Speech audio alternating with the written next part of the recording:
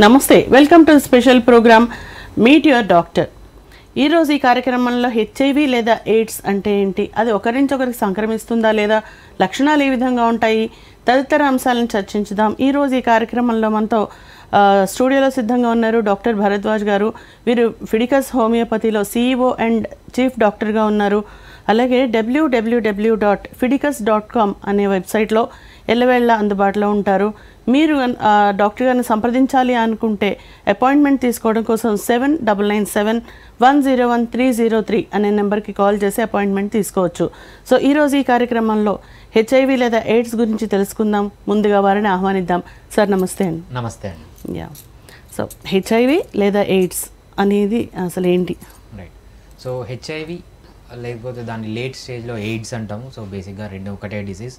ఇక్కడ మనం మెయిన్గా చూసేది ఏంటంటే పేషెంట్స్లో ప్రాబ్లము సో కొంతమందికి ఏంటంటే ఎర్లీగా డిటెక్ట్ అవుతుంది. అంటే తెలియకుండా. సో వాళ్ళు ఏదో టెస్ట్ కోసం వెళ్తారు. అందుకోసం చేయించుకుంటే డిటెక్ట్ అవుతుంది అనమాట లేకపోతే కొంతమంది సిమ్టమ్స్ వచ్చి వస్తారు.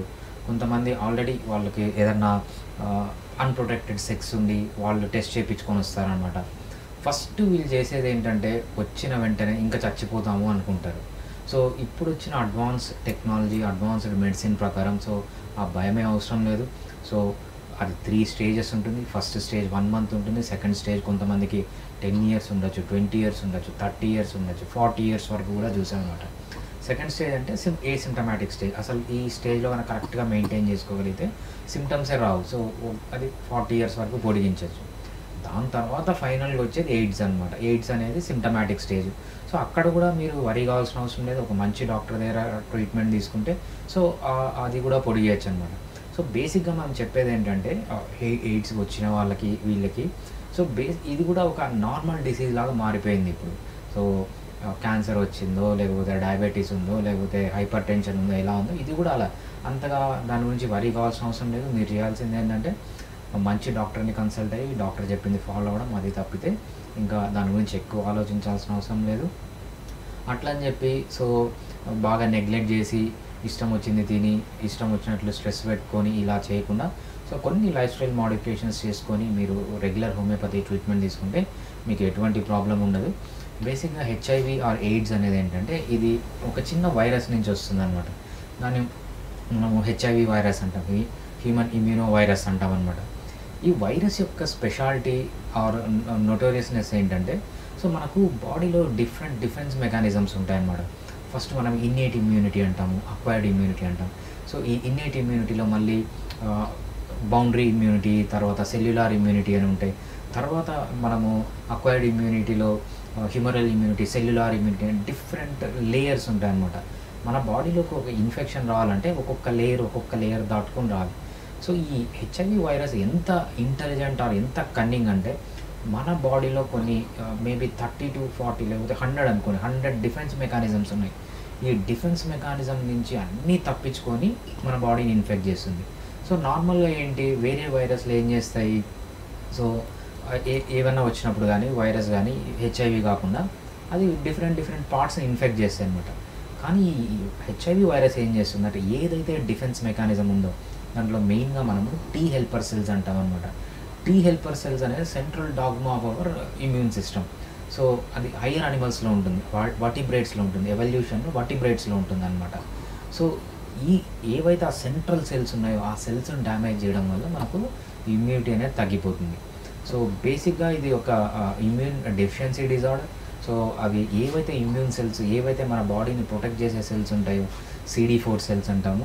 సో ఆ సెల్స్ని ఇవి డ్యామేజ్ చేసి మన ఇమ్యూనిటీని తగ్గించి మనకు ఆపర్చునిటీకి ఇన్ఫెక్షన్స్ కానీ లేకపోతే నియోప్లేజమ్స్ అంటే క్యాన్సర్ టిష్యూ ఫార్మేషన్ కానీ లేకపోతే ఇంకొకసారి ఏమవుతుందంటే సో ఇది మనకు మైక్రోగ్లియా సెల్స్ కూడా ఇన్ఫెక్ట్ అవుతుంది. దానివల్ల మనకు న్యూరలాజికల్ డిజార్డర్స్ వస్తాయన్నమాట. ఓకే. సో ఇప్పుడు ఈ వైరస్ బాడీలోకి ఎంటర్ అయ్యింది అంటే లక్షణాలు ఏ విధంగా ఉంటాయి? రైట్ సో మనకు వైరస్ బాడీలోకి ఎంటర్ అయిన తర్వాత త్రీ స్టేజెస్ ఉంటుందండి. ఫస్ట్ మనము యాక్యూట్ స్టేజ్ అంటాము సెకండ్ క్రానిక్ స్టేజ్ అంటాము థర్డ్ది హెచ్ఐవి ఆర్ దాన్ని ఎయిడ్ స్టేజ్ అంటాం అన్నమాట ఓకే. ఫస్ట్ అక్యూట్ స్టేజ్లో ఏమవుతుందంటే సో వీళ్ళు అన్ప్రొటెక్టెడ్ సెక్స్కి వెళ్ళినా లేకపోతే ఏదైనా నీడిల్స్ గుచ్చుకున్నా లేకపోతే బ్లడ్ ట్రాన్స్ఫ్యూజన్ ఏదన్నా అయినా దీంట్లో ఏదన్నా హెచ్ఐవి కంటామినేషన్ ఉంటే సో వీళ్ళ బాడీలోకి వైరస్ ఎంటర్ అవుతుంది. వైరస్ ఎంటర్ అయిందని on an average two weeks నుంచి వన్ మంత్ వరకు వీళ్ళకు కొన్ని సిమ్టమ్స్ డెవలప్ అవుతాయి అనమాట సో ఆ ఆ స్టేజ్లో ఏమవుతుందంటే ఎక్కువ బాగా వైరస్ మల్టిప్లై అవుతూ ఉంటుంది. సో ఇక్కడ వీళ్ళకు ఫ్లూ లాగా ఉంటుంది అనమాట ఎలా ఉంటుందంటే కొంచెం ఫీవర్ రావడము చలి రావడము బాడీ పెయిన్స్ రావడము కళ్ళు దురద పెట్టడము స్నీజింగ్స్ రావడము కాఫ్ రావడము సో మౌత్లో చిన్నగా అల్సర్స్ రావడము ఇది two weeks to one week one month వరకు ఇలా ఉంటుంది అనమాట ఫస్ట్ స్టేజ్ ఇది ఫస్ట్ స్టేజ్ యాక్యూట్ స్టేజ్ అంటాం అనమాట దీని తర్వాత ఏమవుతుందంటే ఏసిమ్టమాటిక్ సో మన బాడీ దీనికి అగెన్స్ట్గా ఇమ్యూన్ సిస్టమ్ని డెవలప్ చేస్తుంది అనమాట అప్పుడు ఏమవుతుందంటే ఇది సైలెంట్ అయిపోతుంది. సో ఏ సిమ్టమాటిక్గా ఉంటారు. మోస్ట్ ఆఫ్ ది పీపుల్ అసలు సిమ్టమ్స్ ఉండవు అనమాట ఏదో కొంతమందికి లైట్గా కొంచెం లింఫ్ నోట్స్ అంటే ఆంపిట్స్లో కానీ లేకపోతే గ్రాయిన్ ఏరియాలో కానీ కొంచెం స్వెల్లింగ్ ఉంటుంది. అంత తప్పితే చాలామందికి ఏం సిమ్టమ్స్ ఉండదు ఇది ఏ సిమ్టమాటిక్ స్టేజ్ ఇక్కడ ఏమవుతుందంటే వైరస్ అనేది చాలా స్లోగా రెప్లికేట్ అవుతూ ఉంటుంది. అంటే డెవలప్ అవుతుంటుంది చాలా స్లోగా డెవలప్ అవుతుంది. ఇక్కడ ఏం సిమ్టమ్స్ ఉండవు. నార్మల్గా ఎలా ఉంటారో అందరూ వీళ్ళు కూడా అలానే ఉంటారు. ఇది మెయిన్గా ఇన్ఫెక్టివ్ స్టేజ్ ఇక్కడ వీళ్ళు ఏం చేస్తారంటే ఏం సిమ్టమ్స్ లేవనుకొని సో మ్యారేజ్ చేసుకోవడము మ్యారేజ్ నుంచి వైఫ్కి రావడం వైఫ్ నుంచి పిల్లలకి రావడం మ్యారేజ్ లేదనుకోండి సో వీడు ఏవైనా తిరుగుళ్ళు తిరిగితే వాళ్ళకి రావడము. సో ఇదంతా ఇన్ఫెక్టివ్ స్టేజ్ అనమాట సెకండ్ స్టేజ్ ఇంకా థర్డ్ స్టేజ్ వచ్చేటప్పటికి ఎయిడ్స్ అంటాము. ఇక్కడ వీళ్ళకి ఏమవుతుందంటే సివియర్గా మనం ఈ సిడి ఫోర్ సెల్స్ అంటాం కదా ఆర్ టీ హెల్పర్ సెల్స్ అంటాం కదా బాగా పడిపోయి ఇక్కడ ఆపర్చునిటీకి ఇన్స్ ఇన్ఫెక్షన్స్ వస్తాయన్నమాట. ఆపర్చునిటీకి ఇన్ఫెక్షన్స్ అంటే ఏంటంటే ఇన్ఫెక్షన్స్ ఏదైనా వీళ్ళకి మెయిన్గా మనం చూసేది ఏంటంటే ఓరల్ క్యాండియాడియాసిస్ అంటాం. అంటే నోట్లో ఫంగల్ ఇన్ఫెక్షన్ రావడము మొలస్కం కంటోజియోజం అంటాము చిన్న కురుపుల్లాగా రావడం స్కిన్ పైన ర్యాషెస్ రావడము సో అదేవిధంగా టీబీ రావడము సో హెర్పీస్ రావడము సో ఇది చాలా సిమ్టమ్స్ అనమాట అన్ఎక్స్ప్లెయిన్డ్ ఫీవరు డయేరియా సో కొంతమందికి సెకండరీ నియోప్లాజియాస్ అంటామంట క్యాన్సర్స్ రావడము కొంతమంది న్యూరలాజికల్ సిమ్టమ్స్ ఉంటాయి. సో ఇవన్నీ థర్డ్ స్టేజ్లో ఉంటాయి. ఆ, థర్డ్ స్టేజ్ అనేది ఎప్పుడైతే ఈ సీడీ ఫోర్ సెల్స్ పడిపోతాయో టూ హండ్రెడ్ కంటే తక్కువ పడిపోతాయో లేకపోతే ఆపర్చునిటీకి ఇన్ఫెక్షన్స్ వస్తాయి దాన్ని థర్డ్ స్టేజ్ అంటాం. అది మోస్ట్లీ మనము వెయిట్ తగ్గిపోయేది కానీ ఇన్ఫెక్షన్స్ రావడం కానీ డల్ అయిపోయేది కానీ ఈ స్టేజ్లో మనము చూస్తూ ఉంటాం అనమాట ఓకే. అయితే ఇప్పుడు ఈ స్టేజెస్ మారడం అనేది ఏజ్ని బట్టి ఏమైనా డిఫరెన్స్ ఉంటుందా? రైట్. సో మంచి ఏజ్ యంగ్ ఏజ్లో ఉన్నాడు అనుకోండి సో వాళ్ళలో ఇమ్యూనిటీ బాగా ఉంటుంది. సో వాళ్ళకి ఈ స్టేజ్ ఈ మెయిన్గా మనము సెకండ్ స్టేజ్ గురించి అంటాం అనమాట సెకండ్ స్టేజ్లో ఏమవుతుందంటే క్రానిక్ స్టేజ్ అంటాం. సో ఈ క్రానిక్ స్టేజ్ని పొడిగించడానికి బాగా స్ట్రాంగ్గా ఉన్నారు. రెగ్యులర్ ఎక్సర్సైజ్ చేస్తున్నారు. మంచి ఫుడ్ తీసుకుంటున్నారు. మంచిగా నిద్రపోతున్నారు. స్ట్రెస్ ఫ్రీ లైఫ్లో ఉన్నారంటే మీకు ఏమవుతుందంటే ఈ సెకండ్ స్టేజ్ అనేది మనము పొడిగేయచ్చు. బోత్ క్వాలిటీ ఆఫ్ లైఫ్ని క్వాంటిటీ ఆఫ్ లైఫ్ని ఈ సెకండ్ స్టేజ్లోనే మనము బాగా పొడిగేయచ్చు అనమాట సో ఇది మీరు చెప్పినట్లు ఏజ్ పైన డిపెండ్ అయి ఉంటుంది సో యంగ్ ఏజ్ అనుకోండి. సో ఈ స్టేజ్ అనేది చాలా ఎక్కువ రోజులు ఉంటుంది. అదే ఓల్డ్ ఏజ్ అనుకోండి కొంచెం తక్కువగా ఉంటుంది. సో ఫిజికల్గా ఫిట్గా ఉన్నాడు అనుకోండి ఈ స్టేజ్ అనేది కొంచెం పొడిగించవచ్చు. లేకపోతే ఈ ఈ స్టేజ్ అనేది తక్కువ ఉంటుంది అన్నమాట సో ఇది మల్టిపుల్ ఫ్యాక్టర్స్ పైన డిపెండ్ అయి ఉంటుంది. ఏజ్ పైన తర్వాత వీడు ఎలా తింటున్నాడు ఎలా నిద్రపోతున్నాడు ఎలా ఎక్సర్సైజ్ చేస్తున్నారు అదేవిధంగా స్ట్రెస్ ఫ్రీ లైఫ్లో ఉన్నాడా. ఈ మెయిన్గా దీంతోపాటు దీంతో పాటు ఏమైనా అలవాట్లు ఉన్నాయా? స్మోకింగ్ అలవాటు ఉందా డ్రింకింగ్ అలవాటు ఉందా ఇవన్నిటిని బట్టి కూడా quality of the life quantity of life depend అయి ఉంటుంది ఓకే. అంటే ఇప్పుడు జనరల్గా లైఫ్ స్పాన్ అనేది ఎలా మారుతుంది? అంటే వాళ్ళ యంగ్స్టర్స్ టు ఓల్డ్ ఏజ్ అంటే రైట్ సపోజ్ హెచ్ఐవి నుంచి ఎయిడ్స్గా మారడానికి తీసుకునే టైం రైట్ ఏ విధంగా ఉంటుంది? అండ్ వాళ్ళ లైఫ్ స్పాన్ ఎంత ఉంటుంది? అలా వచ్చిన తర్వాత ఎయిడ్స్గా టర్న్ అయ్యాక. రైట్ సో నార్మల్గా ఎలా ఉంటుందంటే అండి ఇది on and average ten years ఉంటుందన్నమాట. అది మన బుక్స్లో చెప్తున్నాయి. ఏ మన బుక్ మన ఏ బుక్ తీసి ఓపెన్ చేసినా ఏ మెటీరియల్ తీసి ఓపెన్ చేసినా టెన్ ఇయర్స్లో మీకు హెచ్ఐవి నుంచి ఎయిడ్స్ కన్వర్ట్ అవుతుంది అని చెప్పి. కానీ మనం చూసేది ఏంటంటే ప్రాక్టికల్గా చూసేది ఏంటంటే బాగా డైట్ మెయింటైన్ చేసి రెగ్యులర్గా హోమియోపతి ట్రీట్మెంట్ తీసుకున్న వాళ్ళు ఫార్టీ ఇయర్స్ వరకు సిమ్టమ్స్ లేని వాళ్ళని కూడా చూసాం. అంటే హెచ్ఐవి డిటెక్ట్ అయ్యి ఫార్టీ ఇయర్స్ తర్వాత కూడా సిమ్టమ్స్ లేని వాళ్ళని చూసామన్నమాట. సో మనము ప్రతి ఒక్కరికి టెన్ ఇయర్స్ అని చెప్పిన బుక్లో పాత బుక్స్ కాబట్టి అలా చెప్తాయి. కాకపోతే ఆన్ అండ్ యావరేజ్గా వీళ్ళు ఏంటంటే అబోవ్ థర్టీ థర్టీ ఇయర్స్ వరకు with homeopathy treatment with life style modifications ఎటువంటి ఇబ్బంది లేకుండా మినిమం థర్టీ ఇయర్స్ వరకు చేసుకోవచ్చు అనమాట. నెక్స్ట్ ఎయిడ్స్లోకి కన్వర్ట్ అయిన రో తర్వాత ఎంత లైఫ్ స్పాన్ ఉండొచ్చు? సో ఎయిడ్స్లోకి కన్వర్ట్ అయిందంటే సింపుల్గా ఏంటంటే వాళ్ళ సీడీ కౌంట్ బాగా తగ్గిపోయిందని. సో ఎప్పుడైతే CD count below two hundred పడిపోతుందో దాన్ని మనం ఏమంటే హై రిస్క్ అంటాం. సో వీళ్ళు న్యాచురల్గానే అలా వదిలేస్తే వీళ్ళకి ఏ క్షణంలో అయినా డెత్ అయ్యే ఛాన్స్ ఉంటుంది. అంటే మనం చూసే కేసులు ఎలా ఉన్నాయంటే సో ఈరోజు ట్రీట్మెంట్ కోసం వచ్చారు. ఆ, ఎక్కడికో ట్రావెలింగ్ చేస్తున్నారు. ఇమ్మీడియట్గా వాళ్ళకి నిమోనియా అటాక్ అయ్యి చనిపోయిన వాళ్ళని కూడా చూసాం అన్నట్టు లేదు వాళ్ళు హోమియోపతి ట్రీట్మెంట్ స్టార్ట్ చేశారంటే కొంతమంది six years ten years so ఇంతవరకు మా దగ్గర అయితే ఒక్క డెత్ కూడా లేదు. సో ఏదైనా డెత్ ఉన్నా కూడా వేరే రీజన్స్ ఉంటాయి. కాకపోతే ఈవెన్ ఎయిడ్స్ కేసులో ఈవెన్ మనకు సీడీ ఫోర్ కౌంట్ ఫార్టీ ఉన్నా వన్ ఫిఫ్టీ ఉన్నా వాళ్ళు మన దగ్గరికి వస్తే ఇంతవరకు డెత్ అనేది లేదు. సో ఎక్కువ దీని గురించి ఆలోచించాల్సిన అవసరం లేదు ఇప్పుడు. కొంతమంది ఏ చాలామంది ఆల్మోస్ట్ ఆల్ మనకు ఏఆర్టీ ట్రీట్మెంట్ తీసుకొని వస్తారనమాట సో ఏఆర్టీ ట్రీట్మెంట్తో కొంతమంది కలిసి వాడుకుంటారు. కొంతమంది రెగ్యులర్గా మన దగ్గరికి వచ్చే వాళ్ళు ఏంటంటే సార్ మేము ఏఆర్టీ ట్రీట్మెంట్ తీసుకుంటున్నాము కానీ మా సీడీ ఫోర్ కౌంట్ పెరగట్లేదని కొంతమంది వస్తారు. లేకపోతే ఏఆర్టీ ట్రీట్మెంట్ వల్ల మాకు చాలా సైడ్ ఎఫెక్ట్స్ ఉన్నాయని కొంతమంది వస్తారనమాట ninety nine percent ART treatment తీసుకొనే మన దగ్గరకు వస్తారు. సో ఆల్మోస్ట్ మా ఈ టెన్ ఇయర్స్ నా ఎక్స్పీరియన్స్లో అయితే ఇంతవరకు ఒక్కరిది కూడా డెత్ లేదు. సో వాళ్ళు even thirty forty one fifty CD కౌంట్తో వచ్చిన వాళ్ళు కూడా హోమియోపతి ట్రీట్మెంట్ తీసుకొని చాలా హ్యాపీగా బోత్ క్వాలిటీ అండ్ లైఫ్ని క్వాంటిటీ ఆఫ్ లైఫ్ని మనము పొడిగించవచ్చు ఓకే అయితే నార్మల్ సీడీ కౌంట్ అంటే ఎంత ఉండాలి? రైట్ నార్మల్ సీడీ కౌంట్ మనకు అబోవ్ ఫైవ్ హండ్రెడ్ ఉండాలండి. సో హెచ్ఐవి వాళ్ళకు మళ్ళీ స్టేజెస్ బట్టి మనకు వరల్డ్ హెల్త్ ఆర్గనైజేషన్ ఈ సీడీ ఫోర్ కౌంట్ని బట్టి first stage second stage third fourth stage ఉంటుంది. సో ఫోర్త్ స్టేజ్ అనేది ఫోర్త్ స్టేజ్ అనేది మనం హెచ్ఐవి ఎయిడ్స్ అంటాము. ఇది బిలో టూ హండ్రెడ్ ఉంటే మనము ఎయిడ్స్ అంటాము. లేకపోతే అబోవ్ టూ హండ్రెడ్ ఉన్న విత్ సిమ్టమ్స్ ఏంటి ఆపర్చునిటీ ఇన్ఫెక్షన్స్ ఉన్నా కూడా దాన్ని ఎయిడ్స్ అని మనము చెప్తామన్నమాట. ఓకే. అయితే అసలు ఇది ఒకరి నుంచి ఒకరికి సంక్రమించేదేనా కాదా? ఎలా వస్తుంది? కారణాలు ఏమి రైట్ సో మెయిన్గా ఇది ఇన్ఫెక్టివ్ డిజార్డర్ అండి. హైలీ ఇన్ఫెక్టివ్ డిజార్డర్ సో కారణాలు తీసుకుంటే వంద మంది కేసెస్ తీసుకున్నాం అనుకోండి. దాంట్లో ఎయిటీ ఫైవ్ పర్సెంట్ పీపుల్కి ఏంటంటే అన్ప్రొటెక్టెడ్ సెక్స్ వల్ల వచ్చినవే. ఇంకా ఫిఫ్టీన్ పర్సెంట్ మందే అన్ఫార్చునేట్ పీపుల్ వాళ్ళకి ఏంటంటే నీడిల్స్ యూజ్ చేయడం వల్ల కానీ లేకపోతే సర్జికల్ ఆపరేటర్స్ హెచ్ఐవి పేషెంట్ పైన యూజ్ చేసినవి తెలియకుండా యూజ్ చేయడము బ్లడ్ ట్రాన్స్ఫ్యూజన్స్ లేకపోతే ఆర్గాన్ ట్రాన్స్ఫ్యూజన్స్ మదర్ నుంచి బేబీకి రావడము. సో ఇవన్నీ only constitute about fifteen percent. ఇంకా ఎయిటీ పర్సెంట్ వచ్చి అన్ప్రొటెక్టెడ్ సెక్స్ వల్ల అనమాట అంటే మెయిన్గా సెక్స్ చేసేటప్పుడు కండోమ్ యూజ్ చేయ యూజ్ చేయకపోవడము. సో వీళ్ళే ఎక్కువగా ఉంటారనమాట ఓకే. సో ఇప్పుడు ఒకవేళ దీనికి క్యూర్ అనేది ఉందా? అంటే హోమియో ఒక పక్కన పెడితే మీరు ఇందాక ఏఆర్టీ ట్రీట్మెంట్ Right. మేబీ అది అలోపతి సంబంధించి yeah. సో దానిలో క్యూర్ ఉందా? ఎలా? యాంటీ రిట్రోవైలర్ ట్రీట్మెంట్ అంటామండి. ఏఆర్టీ ట్రీట్మెంట్ అంటే సో చాలామంది మనము యూట్యూబ్లోను తర్వాత గూగుల్లోను చాలామంది చూస్తుంటాం. బాబాలు వీళ్ళు వాళ్ళు చెప్తుంటారు. సో మా మందులు తీసుకోండి. ఎయిడ్స్ కంప్లీట్గా క్యూర్ అయిపోయింది.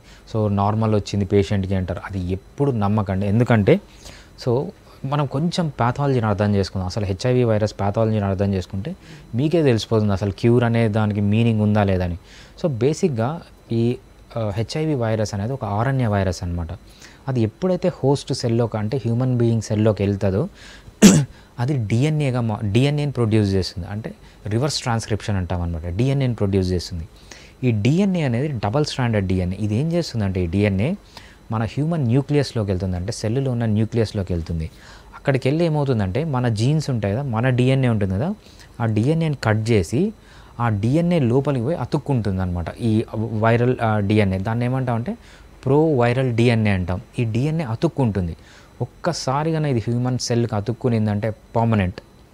దాన్ని తీయడానికి ఎవరి వల్ల? ఇంతవరకు క్లినికల్ ట్రయల్స్లో కానీ లేకపోతే ఉన్న డ్రగ్స్ కానీ ఏ డ్రగ్ ఒక్కసారిగా హెచ్ఐవి వైరస్ అతుక్కుంటే మన డిఎన్ఏతో సో దాన్ని తీసే డ్రగ్ ఇంతవరకు లేదు. కాకపోతే మెడిసిన్స్ ఏం చేస్తాయంటే సో సి ఒక హెచ్ఐవి వైరస్ అనేది మన బాడీలోకి ఎంటర్ అయినప్పటి నుంచి అది మల్టిపుల్గా uh, మారి సో మల్టిప్లై uh, um, అవ్వడానికి చాలా స్టెప్స్ ఉంటాయి మధ్యలో. ఆ స్టెప్స్ని బ్రేక్ చేయడానికి అంటే డిఫరెంట్ ప్లేసెస్లో ఆ స్టెప్స్ని బ్రేక్ చేయడానికి మనకు డిఫరెంట్ మెడిసిన్స్ ఉన్నాయే కానీ ఒక్కసారి వైరల్ డిఎన్ఏ మన డిఎన్ఏతో అతుక్కుంటే సో చాలా స్ట్రాంగ్గా అతుక్కుంటుంది దాన్ని తీయడానికి ఎటువంటి లేదు. సో దీని మీనింగ్ ఏంటంటే ఒక్కసారి మీకు హెచ్ఐవి వచ్చిందంటే సో అది మీకు జీవితాంతం ఉంటుంది అని. సో ఎవ్వరు చెప్పినా నమ్మకండి మీకు హెచ్ఐవి మేము కంప్లీట్గా తగ్గిస్తామంటే అది అబద్ధం. ఎందుకంటే ఇంతవరకు ఏ డ్రగ్ హెచ్ఐవి వైరస్ హెచ్ఐవి డిఎన్ఏని మీ బాడీలోంచి ఒక్కసారి ఎంటర్ అయిన తర్వాత మీ డిఎన్ఏతో వేరు చేసి బయటికి పంపించే మెడిసిన్ ఇంతవరకు లేదు. బేసిక్గా అది మీరు నమ్మకండి. So there are good medicines homeo even హోమియోపతిలో మీకు ఏ టెస్ట్ చేసినా నెగిటివ్ వస్తుంది. ఎందుకు వస్తుంది అంటే టెస్టులు మనం దేనికి చేస్తాం? వైరల్ ఆర్ఎన్ఏ టెస్ట్ చేస్తాం. లేకపోతే వైరల్ ప్రోటీన్ చేస్తాం. అంటే వైరల్ యాంటీజెన్ చేస్తాం. యాంటీబాడీ టెస్ట్ చేస్తాం. సో ఈ యాంటీబాడీ యాంటీబా యాంటీజెన్స్ మీకు వైరల్ లోడ్ పడిపోవచ్చు. ఎందుకంటే మంచి ట్రీట్మెంట్ ద్వారా. హోమియోపతిలో కూడా చాలా మంచి ట్రీట్మెంట్ ఉంది. మీకు ఆల్మోస్ట్ కొన్ని కేసెస్ అయితే వైరస్ జీరో చూపిస్తుంది. వైరస్ జీరో చూపించినంత మాత్రాన మీ డిఎన్ఏలో ఆ వైరల్ ప్రో డిఎన్ఏ లేదని కాదు. సో ఇది ఉంటుంది. కాకపోతే ఏంటంటే మంచి ట్రీట్మెంట్ ద్వారా అది కంప్లీట్గా తగ్గించుకో అంటే మీ బోత్ క్వాలిటీ ఆఫ్ ది లైఫ్ని క్వాంటిటీ ఆఫ్ ది లైఫ్ని ఈవెన్ సిడీ ఫోర్ కౌంట్ని సో మీకు వెస్ట్రన్ బ్లాడ్ టెస్ట్ని ఇవి ఏ టెస్ట్లు అయితే ఉన్నాయో అవన్నీ కొన్ని కేసెస్లో జీరో అయినా వచ్చినాయి. It doesn't mean that you are completely cured of virus. Okay. అసలు హెచ్ఐవి నుంచి ఎయిడ్స్కి మారడానికి ఎంతకాలం పడుతుంది? అంటే ఇది ఏజ్ని బట్టి ఉంటుందా? లేదా దా అది తీసుకునే టైం ఎవరికైనా ఒకేలా ఉంటుందా? Right. So on an average మనం బుక్స్ చూసుకుంటే ఏమవుతుందంటే టెన్ ఇయర్స్ ఆన్ యావరేజ్ అంటారనమాట కానీ మా ఎక్స్పీరియన్స్లో మేము చూసింది ఏంటంటే అది టెన్ ఇయర్స్ అనేది కాదు. So more than ten years. So కొంతమందికి ట్వంటీ ఇయర్స్ పట్టచ్చు కొంతమందికి థర్టీ ఇయర్స్ పట్టచ్చు. ఈవెన్ కొంతమంది ఫార్టీ ఇయర్స్ ద్వారా ఉన్న ఫార్టీ ఇయర్స్ నుంచి హెచ్ఐవి ఉన్న వాళ్ళు కూడా ఎయిడ్స్లోకి మారని వాళ్ళు చూసాం. సో ఇక్కడ కీ ఫ్యాక్టర్ ఏంటంటే మంచి హోమియోపతి ట్రీట్మెంట్ తీసుకోవడం దాంతోపాటు రెగ్యులర్గా ఎక్సర్సైజ్ చేయడం మంచి డయట్ తీసుకోవడం స్ట్రెస్ ఫ్రీ లైఫ్లో ఉండడం. సో ఇవన్నీ రెగ్యులర్గా మీరు చేసే మంచి నిద్ర స్లీప్ అనేది కూడా చాలా ఇంపార్టెంట్. ఈ నాలుగు మెయింటైన్ చేస్తూ హోమియోపతి ట్రీట్మెంట్ తీసుకుంటే సో ఇర్రెస్పెక్టివ్ మీరు ఏఆర్టీ ట్రీట్మెంట్ తీసుకుంటారా తీసుకోరా అనేది మీ ఇష్టం అది.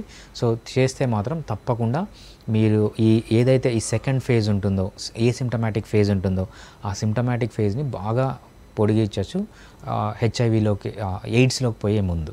ఓకే. అయితే ఇప్పుడు ఎయిడ్స్ అని చాలా కాలం నుంచి వింటున్నా కూడా కొన్ని అపోహలు ఉన్నాయి. అంటే దేని నుంచి వస్తుంది? అంటే దేనికి భయపడక్కర్లేదు. రైట్ అంటే షేరింగ్ ఉంటుంది. ఇప్పుడు ఒక రూమ్మేట్స్ ఉంటారు. షేరింగ్ ఉంటుంది. అవును. సో ఏవేవి దేని వల్ల వాళ్ళు సేఫ్గా ఉంటారు? రైట్ దేనికి భయపడక్కర్లేదు. అనేది చెప్పు. మెయిన్గా ఒక రూమ్లో ఉన్నా కూడా ఏద ఏది ఉన్నా కూడా సో ఎక్- ఎక్కడైతే ఫ్లూయిడ్ ఎక్స్చేంజ్ జరుగుతుందో సో మీకు ఏదన్నా బాడీ పైన కట్ ఉంది ఆ కట్ నుంచి బ్లడ్ వెళ్ళింది. సో బాడీ ఫ్లూయిడ్స్ మీరు ఎక్స్చేంజ్ చేయనంత వరకు ఏం ప్రాబ్లం ఉండదన్నమాట. సో ఎప్పుడైతే మీరు బాడీ ఫ్లూయిడ్స్ ఎక్స్చేంజ్ చేస్తారో మెయిన్గా రేజర్స్ రేజర్ అంటే ఏంటి? చిన్న కట్స్ ఉంటాయి దాంట్లో బ్లడ్ బయటికి రావడము. తర్వాత ఏదన్నా ఫుడ్ ఎక్స్చేంజ్ చేసేటప్పుడు ఏదన్నా బ్లడ్ బయటికి రావడము. సో బాడీ ఫ్లూయిడ్స్ ఎక్స్చేంజ్ చేయనంత వరకు మీరు ఏం వరీ కావాల్సిన అవసరం లేదు. ఎప్పుడైతే బాడీ ఫ్లూయిడ్స్ ఎక్స్చేంజ్ అయ్యే ప్రాబ్లం ఉందో సో అప్పుడు ఈ ట్రాన్స్మిషన్ అనేది జరుగుతుంది అనమాట అంటే ఇప్పుడు సపోజ్ సలైవా. ఆర్ సంథింగ్ అంటే ఒక తినేటప్పుడు. సేమ్ గ్లాస్తో తాగడం. రైట్ ఇలాంటి వాటి వల్ల కూడా సలైవా త్రూ సలైవా కూడా రైట్ ఛాన్సెస్ ఉన్నాయా? రైట్ ఇది కొంచెం హైపోథెటికల్ క్వశ్చన్ అండి. ఎందుకంటే ఫర్ ఎగ్జాంపుల్ అది సెలైవాలో ఉండదు నార్మల్గా కాకపోతే ఎవరైతే హెచ్ఐవి ఇన్ఫెక్టెడ్ పర్సన్ ఉన్నారో వాళ్ళకి ఏదైనా చిన్న అల్సర్ ఉందనుకోండి దాంట్లోంచి బ్లీడ్ ఉంటుంది. ఆ బ్లీడ్ వచ్చి ఈ సెలైవాలో కలిసింది అనుకోండి ఈ సెలైవా వచ్చి మీ మళ్ళీ మీ మౌత్లో కానీ ఏదన్నా బ్లీడ్ ఉంటే లేకపోతే ఏదన్నా కట్ ఉంటే దాంట్లోకి ఎంటర్. సో మెడికల్ ఫీల్డ్లో మనం ఏది ఇది జరగదు అని చెప్పలేం. సో ఇది జరగడానికి అవకాశం తక్కువ అని చెప్పగలం అంతే తప్పితే సో ఇది జరగదు అని చెప్పలేమన్నమాట. సో అంటే రాకుండా ఏమైనా జాగ్రత్తలు తీసుకోగలమా? రైట్ సో ఇది చాలా మంచి క్వశ్చన్ అండి. రాకుండా జాగ్రత్తలు తీసుకోవడం అంటే ఫర్ ఎగ్జాంపుల్ మీకు ఏదైనా డౌట్ వచ్చింది సో మీరు అన్ అన్ప్రొటెక్టెడ్ సెక్స్కి వెళ్ళారు లేకపోతే ఏదన్నా రేజర్ వాడారు హెచ్ఐవి పేషెంట్ది ఏదన్నా జరిగితే మీరు మనకు గోల్డెన్ పీరియడ్ అంటాం అనమాట so within twenty four hours మీరు కన పోస్ట్ వైరల్ ప్రొఫైల్ యాక్సిస్ అంటాం అనమాట సో కొన్ని మెడిసిన్స్ ఉంటాయి. ఆ post viral prophylaxis medicines తీసుకుంటే మీకు హెచ్ఐవి పాజిటివ్ వచ్చే ఛాన్స్ చాలా తక్కువగా ఉంటుంది. సో ఒకవేళ వచ్చినా కూడా మీకు ఈ లేటెంట్ ఫేజ్లు ఏవైతే ఉన్నాయో ఇవి చాలా దూరంగా పొడిగించవచ్చు అనమాట so within twenty four hours తీసుకుంటే చాలా మంచిది. వితిన్ త్రీ డేస్ కూడా తీసుకోవచ్చు. లేదు త్రీ డేస్ కూడా మిస్ అయిపోయిందంటే సో మీకు ఏదన్నా డౌట్ ఉన్నా మీరు ఏ స్టేజ్లో ఉన్నా ఉండొచ్చు. సో వెంటనే ఒకసారి హెచ్ఐవి టెస్ట్ చేయించుకొని సో ఆ ట్రీట్మెంట్ తీసుకోవడం అనేది చాలా ఇంపార్టెంట్ అనమాట సో గోల్డెన్ పీరియడ్ వచ్చి twenty four hours three days ఆ ట్రీట్మెంట్ తీసుకుంటే so post viral prophylaxis తీసుకుంటే చాలా యూస్ఫుల్గా ఉంటుంది. ఓకే. ఇప్పుడు ఏదైనా సమ్ యాక్సిడెంట్ ఆర్ సంథింగ్ అయ్యి హాస్పిటల్కి వెళ్తారు. సో అక్కడ ట్రీట్మెంట్ జరిగే టైంలో కూడా ఏమైనా పొరపాట్లు జరిగేందుకు అవకాశం ఉందా? వెళ్ళినప్పుడు మనం ఎలాంటి జాగ్రత్త తీసుకోవాలి? అక్కడ చూసి అబ్జర్వ్ చేసినప్పుడు. యా తప్పకుండా ఉంటుందండి. ఎందుకంటే మనము రెగ్యులర్గా చూస్తూ ఉంటాం. కాకపోతే మీరు ఒక్కసారి హాస్పిటల్కి వెళ్ళిన తర్వాత ఏదైతే రోడ్ ట్రాఫిక్ యాక్సిడెంట్ అంటారో సో వాళ్ళు వాళ్ళ ప్రోటోకాల్ ఫా ఫాలో అవుతారనమాట వాళ్ళు గ్లౌజ్ వేసుకోవడము తర్వాత ప్రతి ఒక్క పేషెంట్కి ఫస్ట్ ఎంటర్ అయిన వెంటనే వైరల్ ప్రొఫైల్ చేస్తారనమాట వైరల్ ప్రొఫైల్లో మనకు హెచ్బిఎస్ ఏజీ చేస్తారు తర్వాత హెచ్ఐవి చేస్తారు వేరే వైరస్లు కూడా టెస్ట్ చేస్తారనమాట సో మనం ఒక్కసారి హాస్పిటల్కి వెళ్ళిన తర్వాత దాని గురించి వరీ కావాల్సిన అవసరం లేదు. హాస్పిటల్ స్టాఫ్ కానీ హాస్పిటల్లో ఉన్న డాక్టర్స్ కానీ పారామెడికల్ స్టాఫ్ కానీ వాళ్ళు ఫుల్లీ ట్రైన్డ్ అన్నమాట. వాళ్ళు చాలా జాగ్రత్తగా తీసుకొనే ఆ, ప్రొసీజర్స్ అన్నీ ఫాలో అవుతారు. ఓకే. అండ్ ఇప్పుడు వచ్చేసి హోమియోలో హోమియోలో ఎలాంటి ట్రీట్మెంట్ ఉంది?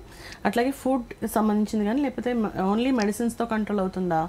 అండ్ ఫుడ్కి సంబంధించి ఏమైనా జాగ్రత్తలు తీసుకోవాలా? Right along with homeo treatment. Right so homeo ట్రీట్మెంట్కి వచ్చేటప్పటికండి చాలా ఎక్సలెంట్ ట్రీట్మెంట్ ఉంటుంది హోమియోపతిలో.